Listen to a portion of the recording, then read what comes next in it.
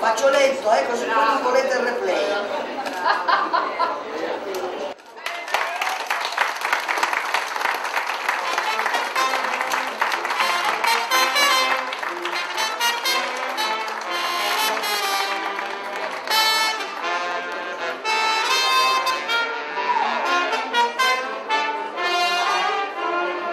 E allora abbiamo deciso di chiamarla festa.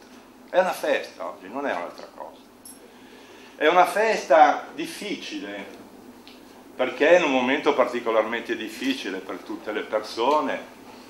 per chi lavora nelle aziende, per chi vive di pensione,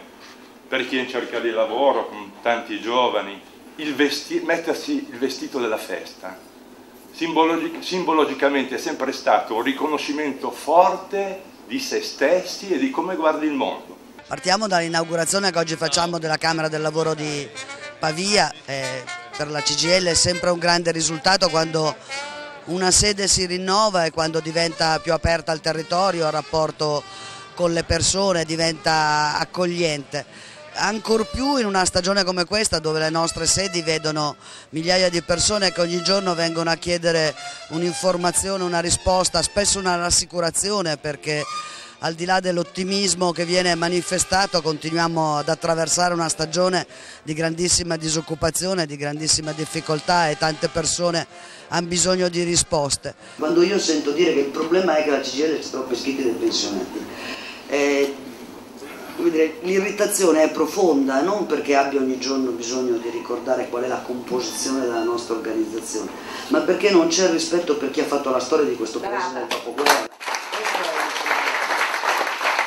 Siamo esattamente l'antitesi di un mondo in cui invece si pensa che tutto è solo individualizzato, che solo i singoli possono diventare forti e ovviamente se pensi che sia solo il singolo che diventa forte stai pensando a quanti deboli schiacci in quell'occasione. Anche oggi parleremo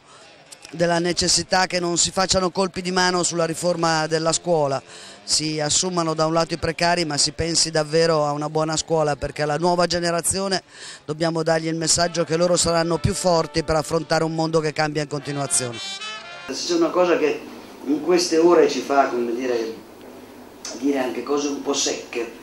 è perché stiamo assistendo, basta guardare le prime pagine dei giornali di ieri e di oggi, al fatto che si usa la stabilizzazione di 100.000 lavoratori come una clava per rompere il mondo della scuola, non perché si abbia dire, interesse a quello straordinario bene essenziale collettivo che è l'istruzione e la stabilizzazione, ma bisogna rompere quel fronte che unitariamente ha proposto unitariamente vastamente ha proposto un'idea di scuola che fosse appunto il futuro dei ragazzi e delle ragazze e non l'affermazione di modelli di leadership. Molte delle nostre camere del lavoro, anche questa Camera del Lavoro, erano case del fascio, erano le sedi dei sindacati corporativi voluti dal fascismo. Io considero un grandissimo risultato della libertà di questo Paese che quelle case siano invece diventate le sedi delle Camere del Lavoro e le sedi